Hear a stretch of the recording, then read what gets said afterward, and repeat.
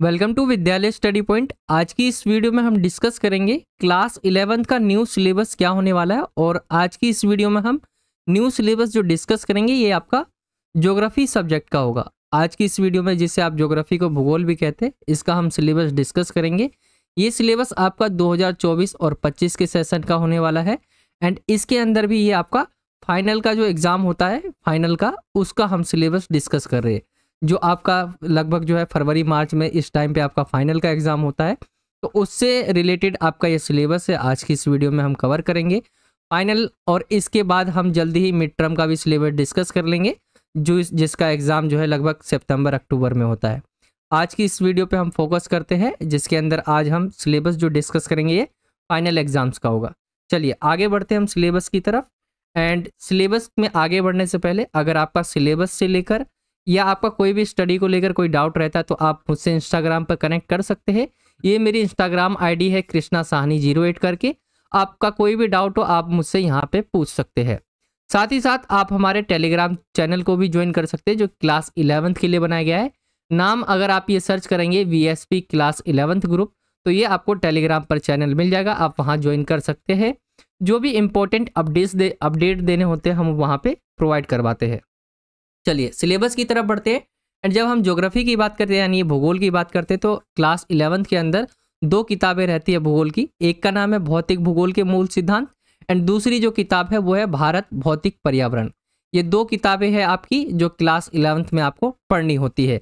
काफ़ी ज़्यादा बच्चों को पता नहीं होगा किताबों के बारे में, क्योंकि आप क्लास टेंथ से इलेवंथ में आए हैं। तो सबसे पहले ये दिखाना ज़रूरी था कि आपकी कौन कौन सी बुक्स है। चलिए, ये दो किताबें आपको पढ़नी है। इसके अलावा एक और बुक रहती है प्रैक्टिकल की तो वो भी हम आगे डिस्कस करेंगे। चलिए, इन दोनों बुकों को हम सबसे पहले आप इसे एक बार इंग्लिश मीडियम में भी देख लेते हैं। फंडामेंटल ऑफ़ फ़िज़िकल ज्योग्राफी ये इंग्लिश मीडियम की किताब है, जो मैंने आपको हिंदी मीडियम में दिखाया, वही किताब इंग्लिश मीडियम में कुछ इस तरह से ये इंडिया फ़िज़िकल एनवायरनमेंट ये आपकी दो किताबें जो इंग्लिश मीडियम के स्टूडेंट्स है, वो देख सकते हैं। चलिए, आगे की तरफ़ चलते हम। ये आपकी पहली किताब जो हम डिस्कस करेंगे, भौतिक भूगोल के मूल सिद्धांत है एंड इसके अगर हम चैप्टर्स को देखें कौन कौन से चैप्टर आपके पूछे जाएँगे एग्ज़ाम्स में? और एक चीज़ और आपको मैं पहले ही क्लियर कर देता हूँ कि ये किताबें क्या है? न्यू है। न्यू का मतलब है कि 2024 हो गया और 25 इस सेशन के लिए किताबें हैं। इससे पहले कि अगर आप किताबें देखेंगे मार्केट में अगर आप खरीदते तो वो आपको क्या है? ओल्ड सिलेबस के अकॉर्डिंग वो किताबें मिलेगी। तो कोशिश करना है आपको न्यू सेशन के अकॉर्डिंग आपको किताब लेनी है। अगर आपके पास ओल्ड किताब है क्योंकि ओल्ड किताब के अंदर आपके चैप्टर्स ज़्यादा दिए होंगे जो चैप्टर कट गए हैं वो चैप्टर भी आपको वहाँ पे दिखेंगे। तो मैं ओल्ड वाली जो किताब होगी ना वो मैं आपको लास्ट में दिखा दूँगा कि आपके कौन कौन से चैप्टर अगर आ, ऐसे भी बच्चे होंगे जिनके पास ओल्ड बुक होगी तो उनके लिए भी मैं आपको आगे बता दूँगा। बाकी ये किताब आप कुछ इस तरह से देख रहे होंगे और इसके अंदर आपको टोटल चौदह चैप्टर्स दिख रहे होंगे। यहाँ पे कुछ इस तरह से अगर हम देखें इकाई वन जिसका नाम है भूगोल एक विषय के रूप में इसके अंदर देखें हम ये आपका यूनिट वन है। इसके अंदर पहला चैप्टर है भूगोल एक विषय के रूप में। पृथ्वी जो आपका यूनिट टू है, इसके अंदर दूसरा चैप्टर है पृथ्वी की उत्पत्ति है विकास, पृथ्वी की आंतरिक संरचना, महासागरों और महाद्वीपों का वितरण, ये आपका थर्ड एंड फोर्थ चैप्टर है। फिफ्थ की तरफ़ आए, भू आकृतिक प्रक्रियाएँ हो गई, छठा चैप्टर हो गया, भू आकृतिक तथा उनका विकास। सातवां चैप्टर देखे, वायुमंडल का संगठन तथा संरचना। आठवां चैप्टर है सौर विकिरण, ऊष्मा संतुलन एवं तापमान के बारे में आप पढ़ेंगे। नोवा चैप्टर है, वायुमंडलीय परिसंचरण तथा मौसम प्रणाली, ये आपका नोवा चैप्टर है। दसवां चैप्टर है, वायुमंडल में जल, ग्यारहवा चैप्टर है, विश्व की जलवायु एवं जलवायु परिवर्तनों के बारे में आप इस चैप्टर में पढ़ेंगे।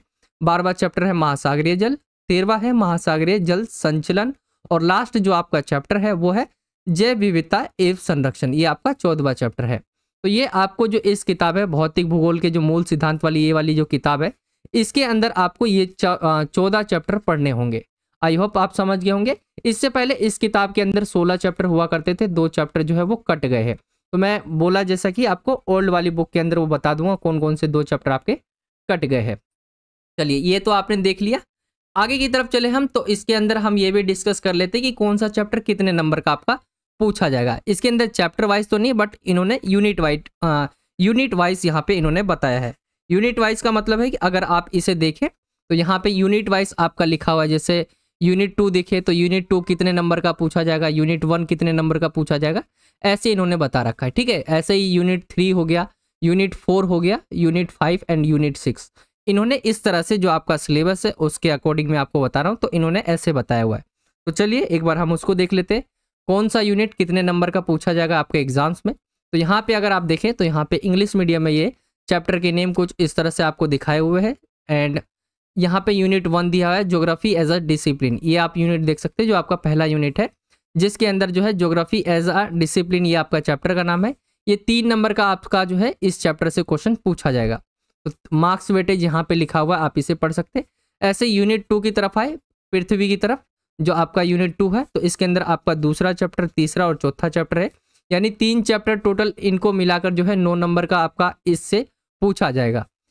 यूनिट थ्री की तरफ़ आए, यहाँ पे जो अगर हम देखें लैंड फॉर्म्स है एंड इसके अंदर दो चैप्टर है, एक आपका पांचवा एंड छठा चैप्टर है। इसको दोनों को मिला के छः नंबर के क्वेश्चंस आपसे पूछे जाएँगे। यूनिट फोर की तरफ़ आएँगे तो क्लाइमेट है इस यूनिट फोर का नाम एंड इसके अंदर सातवां चैप्टर आठवां चैप्टर आगे की तरफ़ बढ़े, सातवां, आठवें के बाद अगर हम देखें तो इसके अंदर है नोवा चैप्टर दसवा और ग्यारहवा। जो यूनिट आपका फोर है, ये आठ नंबर का इससे क्वेश्चन पूछा जाएगा। यूनिट फाइव की तरफ़ आए इसका नाम है वाटर एंड अगर हम देखें इसमें बारवा और तेरहवा चैप्टर दोनों मिला के चार नंबर का क्वेश्चन पूछा जाएगा एंड कुछ इस तरह से चौदवा है इसके अंदर तो आ, इन्होंने मैप के बारे में बताया कि लास्ट में आपका पाँच नंबर का मैप पूछा जाएगा। अगर आप देखें तो जो आपकी एक पहली बुक है वो पैंतीस नंबर का इससे क्वेश्चन पूछा जाएगा क्योंकि ज्योग्राफी का जो पैटर्न रहता है दूसरे पेपरों के अकॉर्डिंग थोड़ा अलग रहता है नंबर वाइज अगर हम देखें तो पेपर वो सत्तर नंबर का होता है जिसमें से पैंतीस नंबर तो आपके एक बुक हो गए पैंतीस नंबर आपका दूसरा बुक हो गया, यानी सत्तर नंबर का तो आपका जो है, अगर आप देखेंगे तो राइटिंग वाला होगा, यानी एग्ज़ाम आपको लिखना होगा जो, वो होगा। बाकी जो तीस नंबर बच गए, उसमें से आपका जो है प्रैक्टिकल हो जाता है, ठीक है? आगे मैं आपको दिखा दूँगा किस किस तरह से होगा। तो ये आप पहली बुक को समझ गए होंगे कि यूनिट वाइज इन्होंने बता रखा है, इसीलिए मैंने यूनिट वाइज आपको बताया। चैप्टर वाइज नहीं बताया इन्होंने नंबर कि कितने नंबर का कौन सा चैप्टर है। लेकिन हाँ यूनिट वाइज ज़रूर बता दिया है। तो आई होप कि आपको समझ आ गया होगा पहली बुक के बारे में। चलिए, अब हम बढ़ते दूसरी किताब की तरफ़, जिसका नाम है भारत भौतिक पर्यावरण। ठीक है? एंड इसके अगर आप चैप्टर्स देख रहे हो तो इसके अंदर टोटल आपको छः चैप्टर दिख रहे हैं। ओल्ड वाली बुक देखे तो उसके अंदर सात चैप्टर हुआ करते थे, एक चैप्टर इसमें से भी कट गया है। तो अगर हम इस बुक को देखें तो इसके अंदर भारत और स्थिति के बारे में पहला चैप्टर आपका दूसरा है। संरचना तथा भू आकृतिक विज्ञान। तीसरा अपवाह तंत्र, चौथा चैप्टर है जलवायु, पांचवा है प्राकृतिक वनस्पति और छठा प्राकृतिक संकट एवं आपदाएँ ये आपके चैप्टर्स रहेंगे इस वाली किताब के अंदर। आइए इसको भी देख लेते हैं हम यूनिट वाइज। इन्होंने जो है नंबर्स भी बताया हुआ है कितने नंबर का कौन सा चैप्टर है या यूनिट है। तो अगर आप चैप्टर वन देखें, इंडिया लोकेशन यानी भारत स्थिति, ये वाला जो चैप्टर है आपका, पाँच नंबर का पूछा जाएगा। आगे की तरफ़ आए हम यूनिट टू की तरफ़। तो यूनिट टू जो है आपका तेरह नंबर का है, chapter number two and chapter number three मिलाकर। यूनिट नंबर थ्री की तरफ़ आए हम तो इसके अंदर इसके अंदर जो है चौथा और पांचवा चैप्टर मिलाकर आपका बारह नंबर का है। एंड यूनिट सिक्स जो आपका लास्ट चैप्टर रहता है, ये जो है आपका, यहाँ पे इन्होंने बोला मैप में पूछा जाएगा पाँच नंबर का। तो कुछ इस तरह से ये पैंतीस नंबर का, ये वाला आपका बुक हो जाएगा। एंड जैसा आपको मैंने बताया, एक बुक पैंतीस नंबर का पूछा जाएगा, एक और दूसरी बुक पैंतीस नंबर का। दोनों मिला के सत्तर नंबर के आपके क्वेश्चंस रहेंगे बुक से। बाकी आगे की तरफ़ अगर हम चले ओल्ड बुक की तरफ़ मैं आपको दिखाऊँ तो यहाँ पे आप देख रहे होंगे टोटल सोलह चैप्टर दिखाए हुए हैं। तो यहाँ पे जो चैप्टर्स कट कट गए हैं, आप वहाँ पे इजीली देख सकते हैं कि कौन सा चैप्टर आपसे नहीं पूछा जा रहा है। जैसे पृथ्वी पर जीवन अगर आप देखेंगे तो ये आपका चैप्टर नहीं है। मैं अगर आपको न्यू वाली बुक में दिखाऊँ तो अगर आपका पंद्रवा चैप्टर दिया हुआ था आपका, एक बार मैं लेके आपको न्यू बुक की तरफ़ जाता हूँ। हाँ यहाँ पे आप देखेंगे तो पृथ्वी पर जो जीवन है, ये पंद्रवा चैप्टर हुआ करता था, वो इसके अंदर कट गया है। बाकी अगर हम देखें और कौन से चैप्टर नहीं आ रहे आपके तो एक बार आगे चलते हैं। और न्यू वाली बुक के अंदर अगर आप देखेंगे तो यहाँ पे आपका खनिज और सेल, जो आपका पांचवा चैप्टर है, ये कट गया है। ठीक है? तो आपके दो चैप्टर्स ये कटे हुए इस वाली बुक में। अगर आपके पास ओल्ड बुक है तो आपको ध्यान देना है कि आपको ये दोनों चैप्टर्स नहीं पढ़ने हैं। एक तो पांचवा चैप्टर और एक पंद्रवा चैप्टर चलिए, आगे की तरफ़ चले हम। तो कुछ टॉपिक भी आपके कटे होंगे। ओल्ड वाली बुक जिन बच्चों के पास है तो उसको ये भी प्रॉब्लम होगी कि उसके टॉपिक भी रहेंगे पुराने के पुराने। तो अगर आप न्यू सेशन की बुक लेंगे तो उसके अंदर ये टॉपिक्स नहीं रहेंगे। बाकी ओल्ड वाले बुक में अगर आप देखेंगे तो ये टॉपिक रहेंगे। जैसे कि भूगोल एक विषय के रूप में आपका पहला चैप्टर है। तो इसके अंदर आपको क्या क्या नहीं पढ़ना है, हटा दिया गया आप इसे देख सकते हैं। क्योंकि ये पहले के सिलेबस 2000 अगर हम 23 और 24 की बात करें तो उसके अंदर भी सेम यही था, इसमें आपको नहीं पढ़ना था। चलिए, आगे की तरफ़ आए चैप्टर नंबर दूसरा है आपका, पृथ्वी की उत्पत्ति है विकास। इसके अंदर भी कुछ टॉपिक कटे हुए, आप इसे यहाँ पे देख सकते हैं। हमने यहाँ पे बताया हुआ है कि हटाए गए विषय या कौन से चैप्टर्स या टॉपिक है, यहाँ पे आप पढ़ सकते हैं।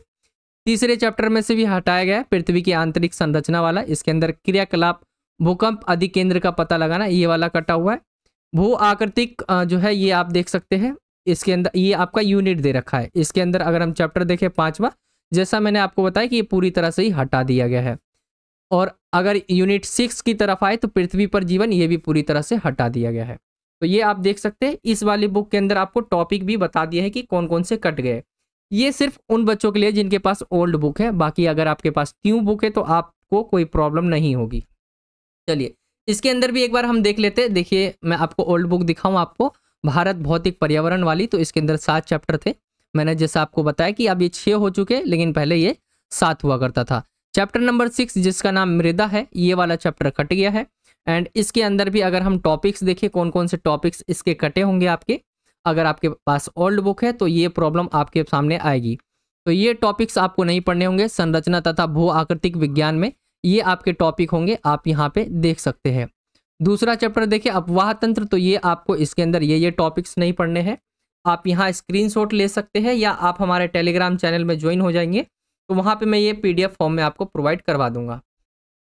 आगे आए हम चैप्टर नंबर थ्री की तरफ़ तो इसके अंदर आप देख सकते हैं, यहाँ पे पेज नंबर भी लिखे हुए तो इससे भी आप देख सकते हैं। बाकी ये ये टॉपिक आपके कटे हुए हैं।